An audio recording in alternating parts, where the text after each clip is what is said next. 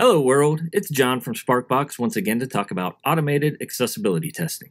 This video is part of a series on how to help improve the accessibility of your site with automated testing.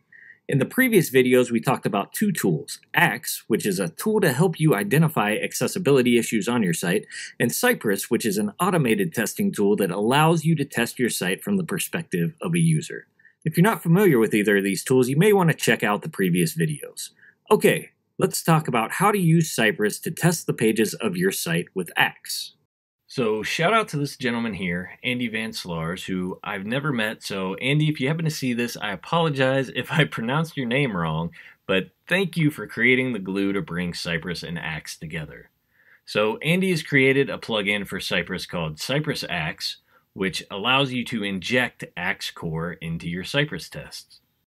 So Cypress Axe is available on GitHub and can be installed with NPM.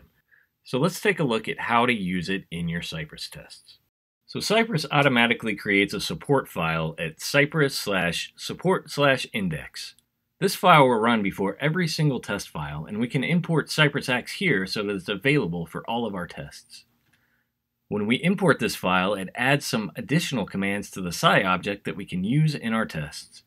So here we have an accessibility test. We start by visiting the home page, and now Cypress Axe has provided this method so that we can inject Axe into the page after it's loaded.